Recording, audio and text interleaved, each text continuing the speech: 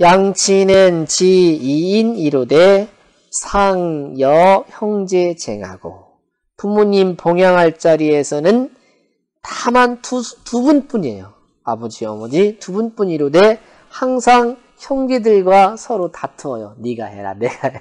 서로 미룬단 말이죠. 양하의 수, 시시, 수, 시빈이나 군계, 독, 자임이라 아들을, 아이들을 기를 적에는 비록 열 사람이나 되어도, 자식이 열 명이나 되어도 군계, 독, 자임이라.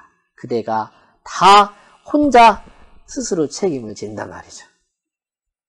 아포난 친상문화대 아이가 아이가 배부른지 따뜻한지 할머니께서 부모님이죠. 부모님께서는 항상 물으시되 부모 기한 불대심이라 부모님의 굶주리고 추우신 것은 마음에 두지 않는다 말이죠. 권군 양친을 수 간력하라 그대여 권컨대 부모님 봉양하기를 간력 힘을 다 하도록 해라.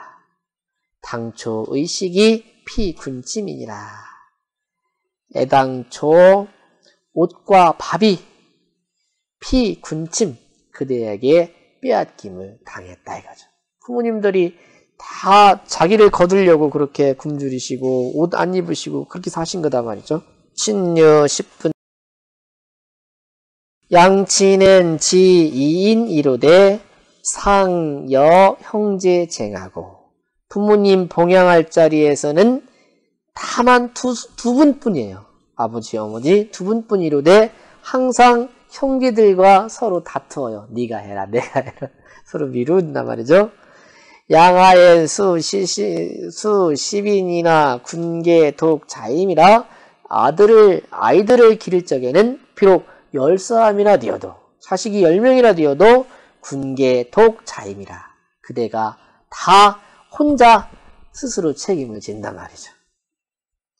아포난 친상문화대 아이가 아이가 배부른지 따뜻한지 할머니께서 부모님이죠. 부모님께서는 항상 물으시되 부모 기한 불대심이라 부모님의 굶주리고 추우신 것은 마음에 두지 않는다 말이죠.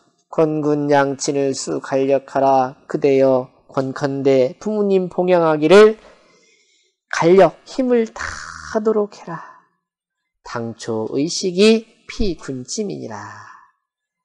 애당초 옷과 밥이 피군침 그대에게 빼앗김을 당했다 이거죠. 부모님들이 다 자기를 거두려고 그렇게 굶주리시고 옷 안 입으시고 그렇게 사신 거다 말이죠.